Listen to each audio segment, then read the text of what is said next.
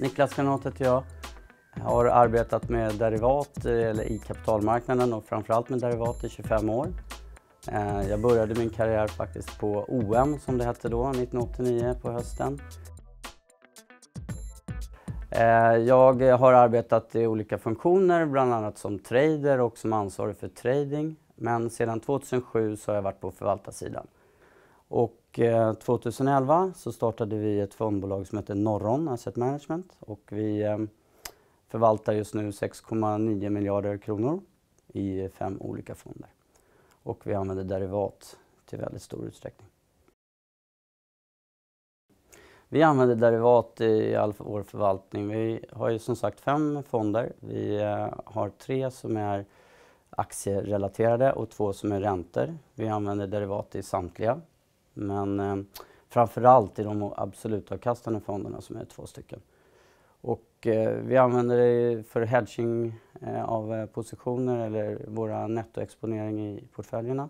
Vi använder det också för att ta bort eh, risker vi kan få i index. Om vi kortar korta index så kan vi bli korta aktier som vi kanske egentligen inte vill bli korta och eh, egentligen inte har någon uppfattning om och då brukar vi ta bort de riskerna med att använda optioner.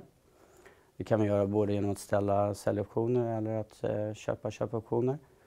Eh, vi använder det också för eh, eh rena positioner, att vi tar outright positioner i derivat i single stocks eller i räntor eller vad det nu kan vara. Eh, jag tittar på optioner och terminer i form av ett eh, ypperligt instrument att öka din riskjusterade avkastning. Du kan eh, själv välja om du vill använda dig hedging eller ta outright positioner. Eh, det har hjälpt oss i vår förvaltning på väldigt stort sätt att uppnå väldigt goda resultat och eh, extremt goda sharpkvoter.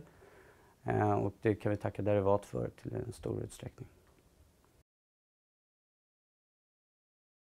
Eh, jag har som sagt arbetat med derivat i många olika funktioner under länge så att eh, jag gillar ju optioner och terminer och kanske framförallt optioner för att eh, jag gillar optionaliteten man kan skaffa sig. Och eh, jag tycker det är ett sätt att eh, minska risken i eh, vår förvaltning, att ta mer kalkylerade risker. Så att eh, vi eftersträvar ju att ha en bra riskjusterad avkastning och då kommer derivat in som en väldigt stor del i den förvaltningen. Ehm, jag vet också att det är mycket prat om att eh, derivat ökar risken i portföljen men då är de felanvända anser jag. Utan, eh, använder man derivat på rätt sätt så då minskar det risken i portföljen. Även om du ställer positioner så om du vet vad du ställer på och kan ha de riskerna så tycker jag att det minskar risken. Eh, alla investerare kan ju ha glädje av derivat men eh, det kräver ju kunskap. Det är inte något som man bara kan sätta sig och börja handla och ta positioner i utan att veta vad man gör. Eh, det går också att gå in på väldigt exotiska derivat. Det är ingenting som vi använder i vår förvaltning men eh, det finns ju sådana som gör det också. Men det kräver verkligen specialistkunskap skulle jag säga.